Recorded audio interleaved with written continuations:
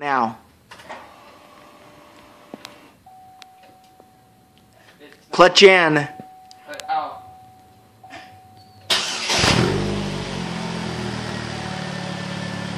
Alright, rev it a couple times.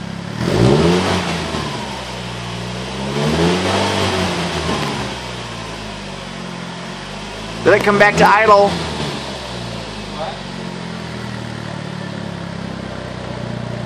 Alright, shut it off.